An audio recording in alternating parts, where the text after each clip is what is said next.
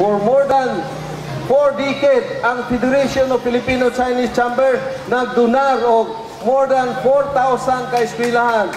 Ang iligang kini karon ika 3,987 man ito. So, mora na yan kung ihangyo kaninyo. Basta mag-eskwela lang magmayo kay ang inyong Vice Mayor maningkamot yun og pangayog eskwelahan. Okay, daghang salamat o may buntag ka natin tanan.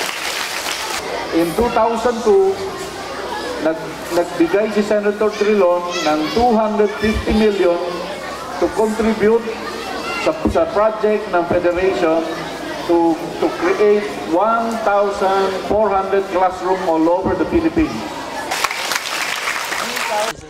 Ah, sa ngalan sa eskwelahan sa Bono Elementary School, ah, isip principal nining maong eskwelahan, kami nagapasalamat ah, kauban sa akong mga magtutudlo sa barangay officials o sa atong mga PTA officials nga ang Filipino Chinese Chamber of Commerce and Industry ah, headed by Mr. Domingo Chow uh, Chua Cham sa paghatag o pag-donate sa usa ka maanindot nga balay tulunghaan dinhi sa among eskwelahan.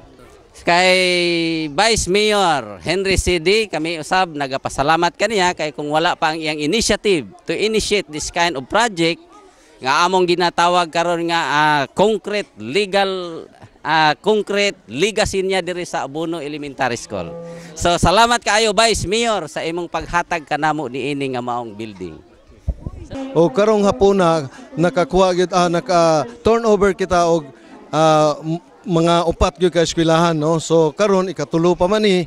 So magpasalamat ta sa mga donors especially karon kanino si Mr. Chwatsam ako man gigagaw taga Pangasinan. Okay? So hinaot ato mga bata nato diri maningkamot gyud eskwela kay ako pod Vice Mayor sa Iligan maningkamot po ko ka pangayog eskwelahan para sa inyo ha. Kay kung dili mo minaayo, dili na ko mangayog eskwelahan.